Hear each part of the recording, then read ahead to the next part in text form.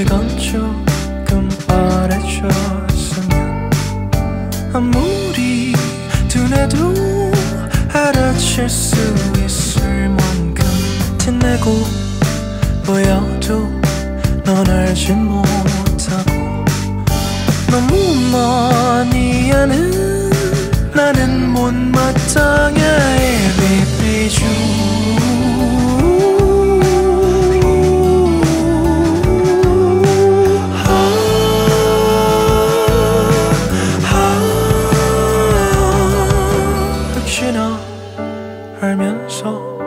그런 거라면 비참한 내가도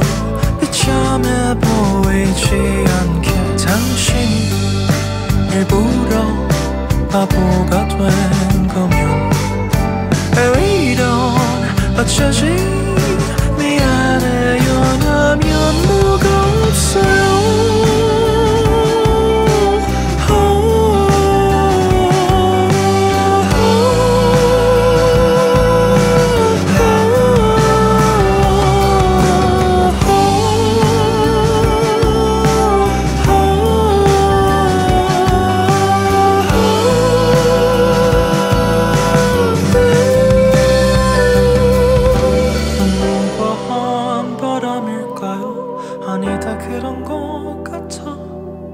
애초에 이런 마음 따위 먹지 말아야 했는데